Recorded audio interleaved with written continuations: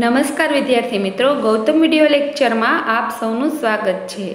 તો વિદ્યાર્થી મિત્રો, આજે આપણે ધોરણ સાતની અંદર પ્રકરણ તેર, ઘાત અને ઘાતાક. એનો પ્રશ્ન નંબર ચાર છે એ સમજવાનો છે.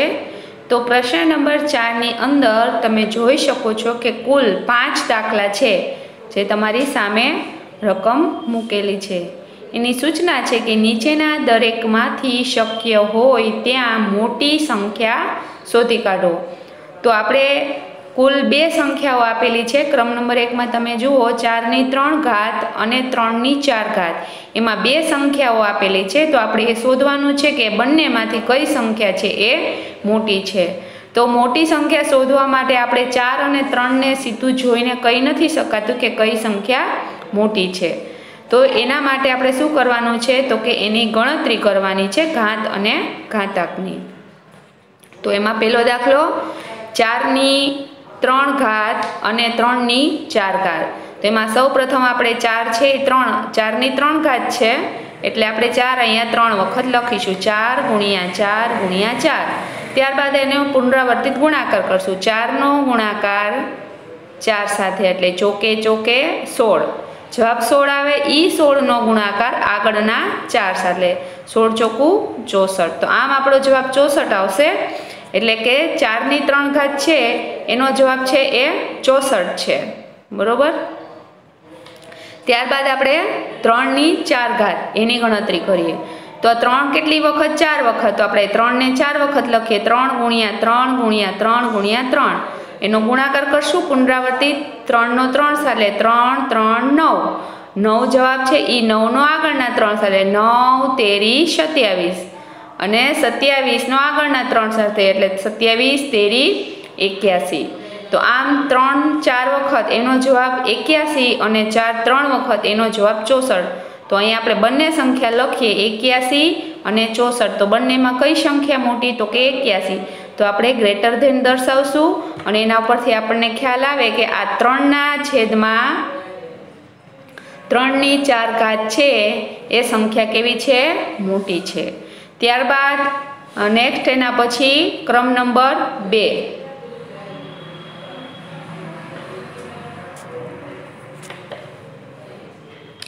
ક્રમ નંબર બે છે, એને, એનો, એની રકમ છે પાંચની ત્રણ ઘાત અને ત્રણની પાંચ ઘાત.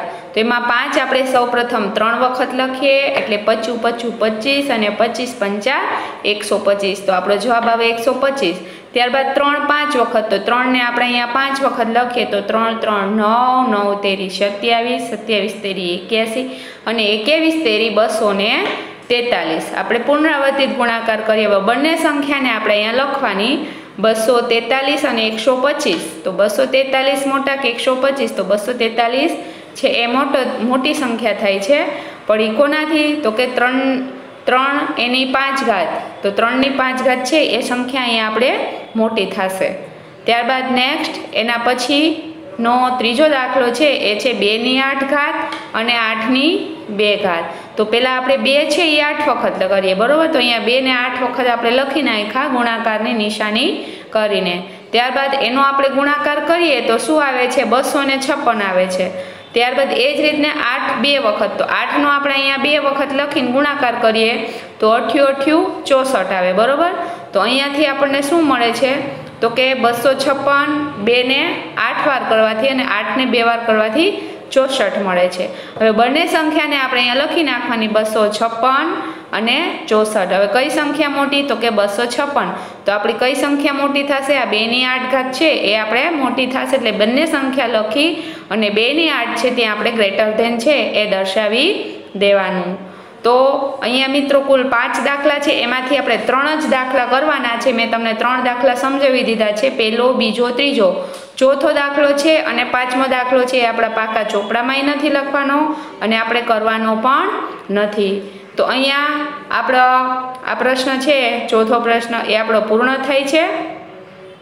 ત્યારબાદ ત્યારબાદ પ્રશ્ન નંબર પાંચ.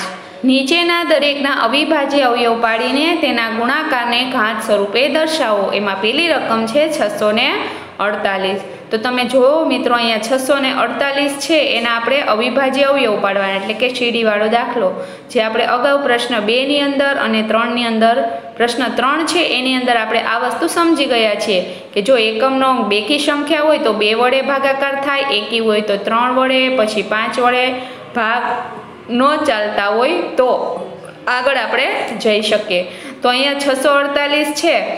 તો એને આપણે બે વડે ભાગાકાર કરીએ તો જવાબ શું આવે? ભાગાકારનો ત્રણસો ને ચોવીસ આવે. ત્રણસો ચોવીસને બે વડે ભાગાકાર કરીએ તો બસો ને છાસઠ જવાબ. બે બે આપણે બાજુમાં લખતા જવાના. અને છસો, એકસો બાસઠ છે. એને બે વડે ભાગાકાર કરીએ તો શું આવે? એક્યાસી આન્સર આવે. એક્યાસીનો એકમનો અંક જુઓ મિત્રો. એક. કયો છે? એક, એટલે કે એકી સંખ્યા. એકી સંખ્યા છે એટલે આપણો ભાગ છે એ કેટલા વડે આપણે ચલાવવાનો છે? ત્રણ વડે ચલાવવાનો. તો એક્યાસીને ત્રણ વડે ભાગાકાર કરીએ એટલે સત્યાવીસ જવાબ આવે. સત્યાવીસનો ત્રણ વડે ભાગાકાર કરીએ એટલે નવ અને નવનો ભાગાકાર ત્રણ વડે કરીએ એટલે ત્રણ ત્રણ, નવ. તો આમ આપણને ક્યાં ક્યાં અવિભાજ્ય અવયવ મળે? તો કે આપણને અહીંયા આ બધા અવિભાજ્ય અવયવ મળે. બે, ત્રણ વખત અને ત્રણ છે એ ચાર વખત. હવે આપણે એને ઘાત સ્વરૂપે, આપણને અહીંયા સૂચનામાં કીધું કે ગુણાકારને ઘાત સ્વરૂપે દર્શાવો. તો આ એનું ઘાત સ્વરૂપ છે જે દર્શાવેલું છે. તો એમાં જો છસો અડતાલીસ બરાબર આપણે આ જે સીડી છે, અહીંયા આપણી જે સીડી છે, એ સીડીને આપણે અહીંયા લખી નાખવાની ગુણાકારની નિશાનીમાં. આ રીતે ગુણાકારની નિશાનીમાં લખીએ. હવે એમાં જો બે કેટલી વાર છે? તો કે ત્રણ વખત તો આપણે અહીં લખવાના, બેની ત્રણ ઘાત. પછી ગુણ્યા ત્રણ કેટલી વાર છે? તો કે ચાર વખત. તો આપણે લખવાની અહીંયા ત્રણ છે એ ચાર વખત. તો આમ છસો અડતાલીસ બરાબર એનું ઘાત સ્વરૂપ શું થાય? બેની ત્રણ ઘાત અને ત્રણની ચાર ઘાત. આ રીતે પ્રશ્ન નંબર બે પણ આ જ રીતે આપણે કરવાનો છે. તો પ્રશ્ન નંબર બે, એની રકમ છે ચારસો ને પાંચ. એના અવિભાજ્ય અવયવ. હવે જો ચારસો પાંચ છે એનો એકમનો અંક શું છે? તો કે એનો એકમનો અંક છે એ છે પાંચ છે. એટલે કે એકી સંખ્યા. તો આપણે ચારસો પાંચને ત્રણ વડે ભાગાકાર કરીએ. તો જો ત્રણ વડે ભાગાકાર કરીએ ને, તો જવાબ ભાગાકારનો શું આવશે? એકસો પાંત્રીસ આવશે. અને જે ત્રણ છે ભાગાકાર કરીએ એ ત્રણ આપણે અહીંયા મૂકવાના. પછી એકસો પાંત્રીસનો એકમનો અંક શું છે? તો કે પાંચ છે, એકી સંખ્યા. તો એકસો પાંત્રીસને આપણે પાછા ત્રણ વડે ભાગાકાર કરવાના. તો જવાબ શું આવશે? પિસ્તાલીસ આવશે. અને ત્રણ ક્યાં લખવાના? એકસો પાંત્રીસની બાજુમાં. હવે પિસ્તાલીસનો એકમનો અંક શું છે? પાંચ છે. તો એને પણ ત્રણ વડે ભાગાકાર કરવાના. એટલે પંદર તેરી પિસ્તાલીસ. ભાગાકાર કરતાં જવાબ શું આવશે? પંદર આવશે. એટલે આપણે પંદર નીચે લખવાના પિસ્તાલીસની અને ત્રણ આપણે એની બાજુમાં. કોની બાજુમાં? પિસ્તાલીસની બાજુમાં. ત્યારબાદ પંદર તેરી પિસ્તાલીસ અને પાંચ તેરી પંદર. તો અહીંયા પાંચ તેરી પંદર. અને છેલ્લે આવશે પાંચ એકા પાંચ. તો આમ આપણને ચારસો પાંચ છે. એના અવિભાજ્ય અવયવ આપણને કયા મળશે? તો કે આપણને આ મળશે ત્રણ, ચાર વખત અને પાંચ, એક વખત. ત્યારબાદ આપણે એ જ રકમ છે એ અહીંયા લખી, અવયવ લખીને ચારસો પાંચ બરાબર ત્રણ ગુણ્યા ત્રણ ગુણ્યા ત્રણ ગુણ્યા ત્રણ ગુણ્યા પાંચ. હવે નીચે એનું ઘાત સ્વરૂપ લખવાનું. ત્રણ કેટલી વાર છે? તો કે ત્રણ છે એ ચાર વખત, ગુણ્યા પાંચ એક જ વખત, તો પાંચ એક જ વાર લખવાના, એને ઘાત દર્શાવવાની જરૂર નથી. હવે એનું ઘાત સ્વરૂપ આપણે લખીશું આ રીતે. ચારસો પાંચ બરાબર ત્રણની ચાર ઘાત ગુણ્યા પાંચ. તો અહીંયા આપણો દાખલો બીજો પણ પૂર્ણ થાય છે, ત્યારબાદ ક્રમ નંબર ત્રણ. ક્રમ નંબર ત્રણ છે એની રકમ છે પાંચસો ને ચાલીસ. તો પાંચસો ચાલીસ છે ને એકમનો શૂન્ય છે. શૂન્ય એટલે બે કી સંખ્યા. તો આપણે એને બે વડે ભાગાકાર કરશું. તો બે વડે આપણે ભાગાકાર કરીએ તો જવાબ શું હશે? ભાગાકારનો બસો સિત્તેર. અને બે આપણે પાંચસો ચાલીસની બાજુમાં લખવાના. બસો સિત્તેરનો એકમનો અંક શૂન્ય છે. તો બે વડે ભાગાકાર કરશું અને જવાબ આવશે એકસો પાંત્રીસ. હવે એકસો પાંત્રીસનો એકમનો અંક શું છે? એકી સંખ્યા એટલે કે પાંચ છે. તો આપણે એનો ભાગાકાર ત્રણ વડે કરશું. તો જવાબ શું આવશે? ભાગાકાર કરતાં પિસ્તાલીસ આવે. તો પિસ્તાલીસ આપણે એકસો પાંત્રીસની નીચે લખીશું. અને ત્યારબાદ પિસ્તાલીસ છે, એને પણ આપણે એકમનો અંક જોઈ અને ભાગાકાર કરશું ત્રણ વડે.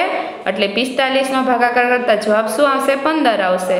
હવે પાંચ, તેરી, પંદર અને પાંચ, એકા, પાંચ. તો આમ આપણને પાંચસો ચાલીસ છે. એના કયા કયા અવયવ આપણને મળશે? તો કે આપણને એના અવયવ મળશે બે ગુણ્યા બે અને ત્રણ ગુણ્યા ત્રણ ગુણ્યા ત્રણ ગુણ્યા પાંચ. એ બધા જ અવયવને આપણે અહીંયા ઉપર લખી નાખવાના આ રીતે. અને ત્યારબાદ બે કેટલી વાર છે? તો કે બે વખત. એટલે આપણે બેની બે ઘાત કરીશું. ત્યારબાદ ત્રણ કેટલી વખત છે? ત્રણ વખત. તો આપણે ત્રણની ત્રણ ઘાત અને પાંચ એક વખત. તો પાંચ એક જ વખત લખીશું. આમ આપણે પાંચસો ચાલીસ છે ને ઘાત સ્વરૂપે કઈ રીતને લખી શકાશે? તો કે બેની બે ઘાત ગુણ્યા ત્રણની ત્રણ ઘાત ગુણ્યા પાંચ. તો મિત્રો, અહીંયા આપણા ત્રણે ત્રણ દાખલા અહીંયા આપણા પૂર્ણ થાય છે. હવે તમે જોઈ શકો કે રકમમાં કુલ કેટલા દાખલા છે? ચાર દાખલા છે. એટલે ચોથો દાખલો જો તમારે કરવો હોય તો તમે કરી શકો પ્રેક્ટિસમાં, ન કરો તો પણ ચાલશે. એટલે આપણે ત્રણ દાખલા છે એ સમજાવેલા છે એ કમ્પલસરી એટલે કે ફરજિયાત કરવાના છે. તો અહીંયા આપણો પ્રશ્ન નંબર પાંચ પૂરો થાય છે અને આપણો વીડિયો લેક્ચર પણ અહીંયા પૂર્ણ થાય છે. થેન્ક યુ વિદ્યાર્થી મિત્રો. આભાર.